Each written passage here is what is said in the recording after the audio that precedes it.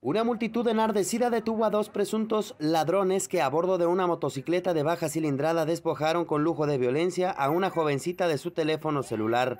Sol Toscano, la joven que fue agredida, relató que la sorprendieron en los cruces de la avenida Juárez al cruce con la calle Camarena en Guadalajara, con un golpe y posteriormente la despojaron de su teléfono. Sin embargo, logró interceptarlos, lo que motivó que la gente ayudara a la detención de los asaltantes. ¿Qué fue lo que pasó? Me quitaron mi teléfono y me pegaron. Eh, ¿Y qué pasó? ¿Eran estas dos personas que están en el suelo? Sí, son ellos dos. ¿Cómo sucedieron las cosas? Estaba en la esquina, venía de tomarme las fotos de la prepa y me quitaron el celular y se fueron en la moto. Y ya corrí, los alcancé a jalar al de rojo y se cayeron. Y ahí en el suelo quisieron correr, pero pues la gente me ayudó a agarrarlos. ¿Te pasó algo?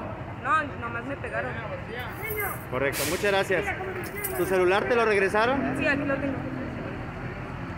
Por varios minutos los presuntos asaltantes fueron golpeados en repetidas ocasiones hasta quedar prácticamente inconscientes. Al cabo de 20 minutos llegaron los policías municipales de Guadalajara y una ambulancia. Los presuntos asaltantes fueron consignados a la autoridad ministerial, reportó para señal informativa Rafael Hernández.